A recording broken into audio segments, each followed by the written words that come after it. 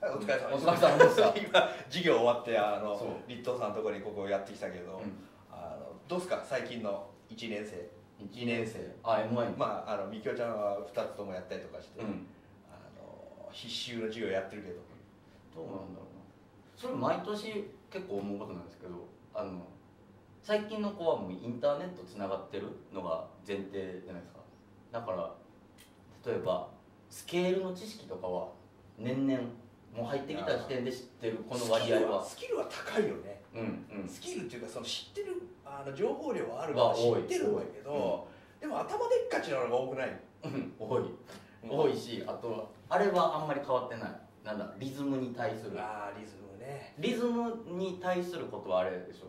インターネットで検索かけにくいでしょ実は、うんそうね。あのずったんとことこパーンって そうね。擬音ばっかりになるけどね。そうそうそうこのつちゃーちゃーってなんだろうみたいな。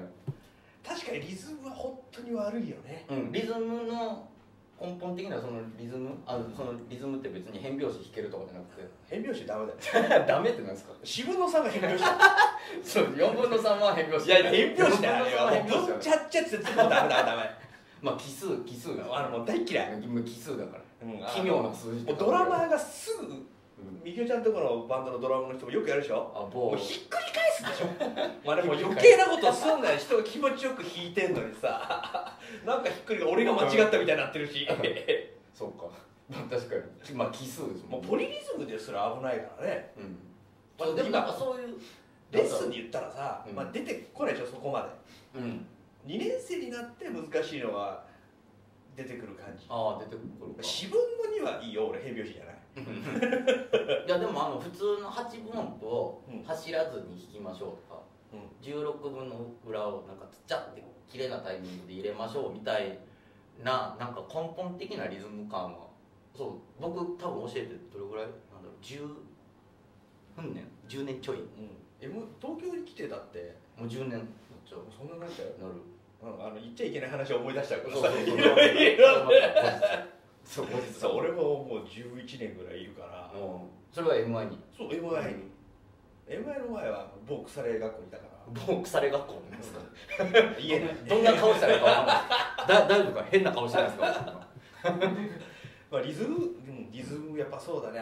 リズムギターやってると途端にあの覇気なくなるもんね。うんコードわからないとかあ俺ねギター始めた時はねあの俺本当はシンガーソングライターになりたかったかあもうちょっと一瞬何言ってたかちょっとわかんないですけど シンガーソングライターですか？そのまあまだないですけど。そううんそれ自分で気づいたのよ。うん。俺はそういうタイプじゃないと。うんうん。あとほら昔いたあのなんとかキャットさんみたいな眼鏡かけないと俺はダメだなと。そういうふうになっちゃうんで、うんあのまあ、始めた頃はうん。アコギだったから、うん。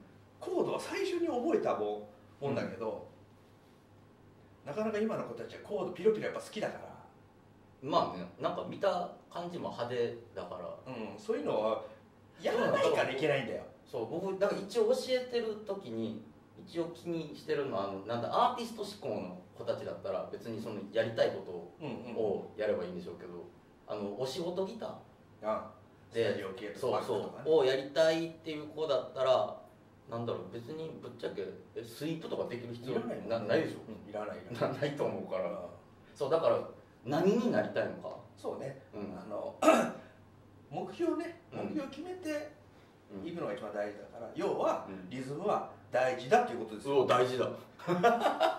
うん、まあ、おろそかにしちゃあかんよと。うん、だって音楽の三大要素の人たちそうだそうですよ。